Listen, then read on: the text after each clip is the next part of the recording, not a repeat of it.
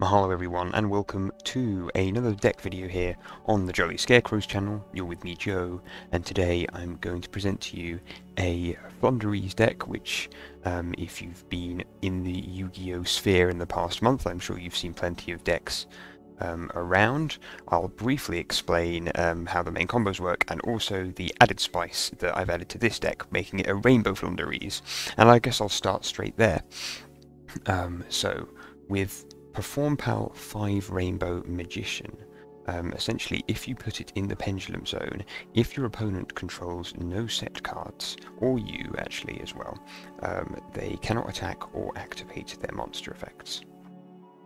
And we obviously know that one of the main locks you get out of the Floowandereeze deck is being able to summon uh, Dark Simorgh, um, basically as soon as your opponent enters their main phase if you're going first, and that prevents them from setting cards.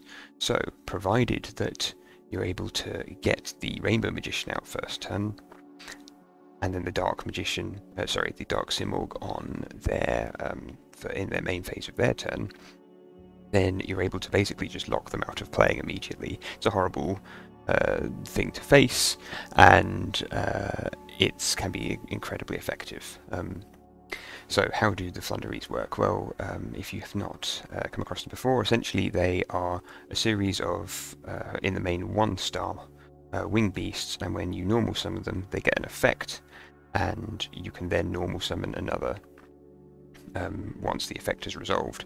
And with Rabina, it lets you search for any of your, your level 1s, um, and so your typical opening play will be to try and get Rabina, um, once you've played that, you then want to get the Eagle, the Eaglin, and that lets you uh, get any of your higher level Floowandereeze, and with that you want to get the Empen.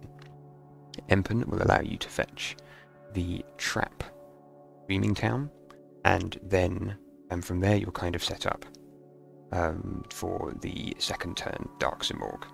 Because with Dreaming Town, immediately after your opponent does something, um, you can chain it, and you can normal summon a uh, monster from your hand, and the Rabina and the Eaglin, when you tribute them to summon the Empen, you can immediately get them back to your hand again. Um, and yeah, that lets you do another search from your deck. And with Rabina, you could search um, the the ostrich, which lets you um, normal summon again if you banish a card from the grave, or you can um, select the toucan, which lets you bring back the banished card, um, and that can be any Floowandereeze card, so even the, uh, the spells and traps. Um, or you can get, if you're being uh, really evil, the barrier statue, um, which prevents your opponent from special summoning. And so it can be kind of situationally dependent as to um, what you do. Now, the other tech in this deck, because we are after the level 1 uh, Rainbow Magician, and because most deck is level 1, we're playing three copies of Where Art Thou. And so, depending on your opening play, um, you'll often have a spare normal summon, and you'll often have a spare one star. So you'll want to play that, and that will let you open up Where Art Thou to allow you to search for the Rainbow Magician. Then you can immediately stick that in your, your Pendulum Zone. Uh, often you will have uh, a spell that you or trap that you're able to set. It might well be Dreaming Town, um, and it's it's actually better to um, enact the combo and lock yourself out of your monster effects and your um, and being able to attack because it prevents the effects from activating. Um, but things like Dark Simorgh and uh, obviously this Rainbow Magicians, the Pendulum Zone, they're continuous effects. So because they're not activating, um, you will have locked your opponent out of being able to play, and all you'll then need to do is wait until you can draw a, uh, a spell or trap card, and we're running obviously uh, three Extravagance, um, three Duality, and uh, you know a whole bunch of of spell and traps.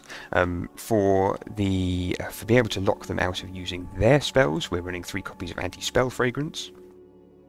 Um, so you know, if you draw a god hand to begin with, and it's it's fairly possible to do, we are running more than the 40, and that's really to get the, the ratios uh, right, because obviously if you have three anti-spell fragrance um, the, the, and three were off, that it can it can brick with the, with the tribute monsters in it too.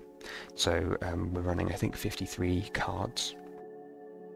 and we found this ratio works pretty well. Um, what else is there to say? So we're not running the riser in this, we're just running uh, mixed va uh, sorry, Mist Valley Apex Avian. So your your goal, I guess, uh, turn two is to have Simorgh, the Empen, and the Mist Valley Apex Avian, and that will allow you to stun any effect your opponent has, get it back to your hand, and you can use the effects of um, Rabina and and the various other level ones, and hopefully just keep being able to bring out the Apex Avian. So it acts as a constant um, um, a constant negate essentially. And if you can keep keep up Empens, um, we're running two in this, and to be honest, uh, it's probably better to run three Empen and no Snarl than having one Snarl. I like it in there because I really like the uh, the artwork essentially. But you could run three Empen and just keep searching for um, things like the Scary Sea counter. We're only running one of them. Um, but to be honest, you should only ever need to counter one of their cards at max. Or you can go in with Unexplored Winds and uh, just tribute their monsters off if their problem piece is on the board or something. Uh, yes, uh, otherwise it's fairly standard um, stuff. If uh, so, running Crossout Designator, obviously it's an expensive card, um, so you can replace that with the Book of Moon. And we're also running, um, because this is on Nexus, we're running three of the Searcher, which is currently OCG exclusive.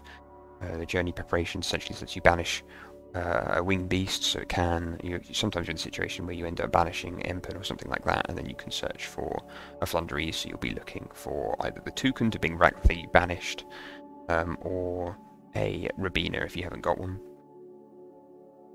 Um, so if you want, you can replace that with well, either don't replace it and simply lower the amount of cards in the deck, or um, maybe wing Requital when it comes out in a few weeks. Um, it does.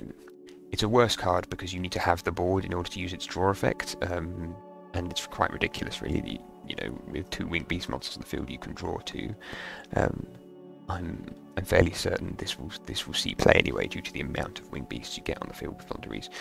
Um, it uh, the deck obviously doesn't it doesn't overly tackle the problem of um, essentially that normal summon effect being being key, and if your opponent can negate that, it stops it in its tracks. But um, obviously, with Crossout Designator, you know you're targeting the one copy of Ash that's in the deck. Um, that's kind of how we've we're trying to solve that problem.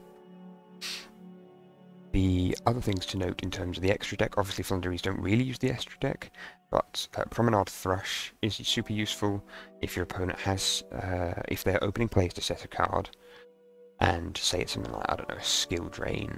Um, actually, no, skill drain's a bad example. It's something annoying that you want to get rid of.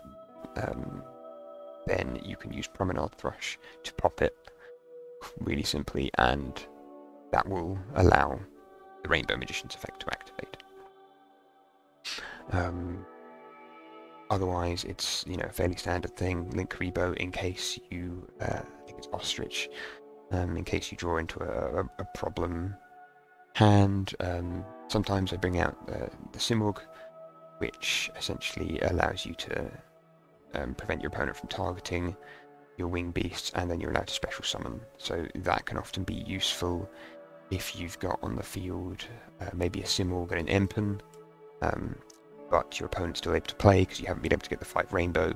Sometimes you're able to get out the Simorgh, and that will allow you to fetch uh, Apex Avian if they've managed to lock you out of being able to play Eaglin or, whatever reason you've managed to lock yourself out because your board's too full. Um, what else is there to say? No, I, I think that's pretty much everything on that. Um, hopefully uh, you've enjoyed this little twist on the video and hopefully um, after this uh, you'll be able to see that in action. Um, it's a slightly odd version because we've drawn the Performapal straight away and two Wear Off Bow, um, so you can see just how effective this deck is even at drawing a pretty bad hand. And yeah, with that, hopefully um, I will see you on the next video here on the Jollie Scarecrows channel.